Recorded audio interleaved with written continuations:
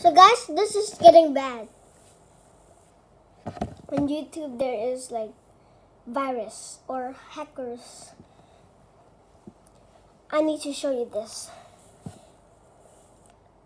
I will type in the comment that is hack that is hackers or virus. I'll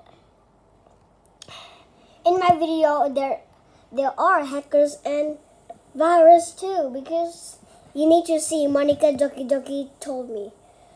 If I record this video finish, I will comment in my video and I will imagine be like a hacker or virus. I will tell. Okay. Virus being around the YouTube. It was hard again.